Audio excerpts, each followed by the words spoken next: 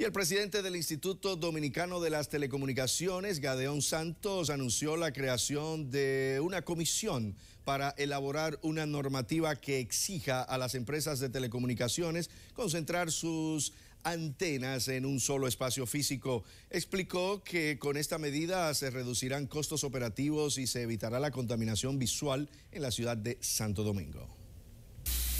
Que quede claro cuáles son los efectos reales que producen los campos electromagnéticos en la vida y la salud de los ciudadanos.